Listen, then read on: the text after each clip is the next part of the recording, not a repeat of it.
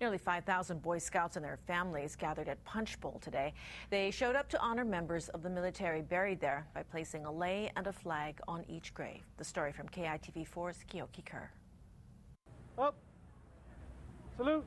With almost military precision, these Boy Scouts from Troop 137 showed their respect for the men and women who have served their country and sacrificed for us all. It makes me feel like they really done a lot for us and that we should really be grateful for what we have because if it wasn't for them, then we might not be here.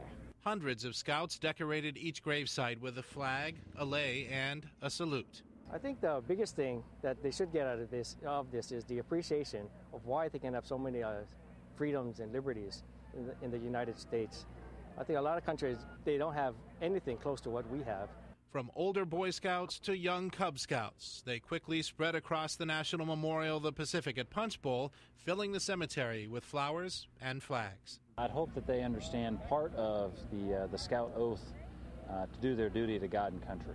And uh, out here in Punchbowl, we're surrounded by thousands who did the ultimate service uh, to execute that duty. Um, and you know, it's a, a small uh, token of our appreciation for what those men and women did for us. There were just enough lei donated or made to place on each of the 33,000 gravesites here.